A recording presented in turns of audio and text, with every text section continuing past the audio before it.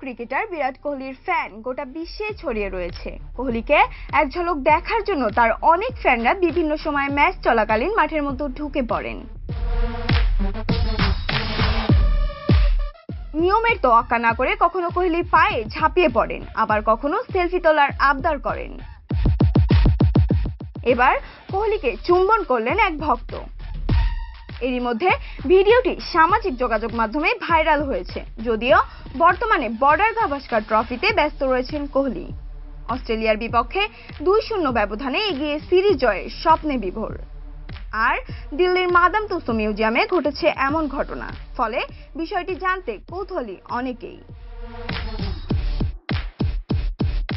গতকাল সোমবার বিশ ফেব্রুয়ারি ভারতীয় সংবাদ মাধ্যমে জি নিউজের প্রতিবেদন অনুসারে। নেট দুনিয়ায় কোহলিকে ভক্তের চুম্বনে যে ভিডিওটি ছড়িয়ে পড়েছে, সেটা আসলে কোহলি নিজে নন, বরং তার মূর্তি। দিল্লির মাদাম তুসো মিউজিয়ামে কোহলির মূর্তিকে একের পর এক চুমু দিতে থাকেন এক তরুণী। কোহলি ভক্তের এমন পাগলামি দেখে মজার মজার মন্তব্য করেছেন নেটিজেনরা। কোহলির এই মূর্তিগুলো সুরক্ষিত নয়, আর একজন লিখেছেন, বৌদি, এই ভিডিও দেখলে ওর ঠোঁট কেটে নেবে। যদিও ছড়িয়ে পড়া ভিডিও নিয়ে কোনো মন্তব্য পাওয়া যায়নি কোহলির।